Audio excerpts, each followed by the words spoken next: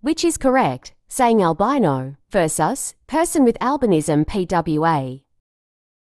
Sane people or person with albinism PWA is more appropriate. The term albino is derogatory to some people with albinism, while others don't mind it, more in the caption.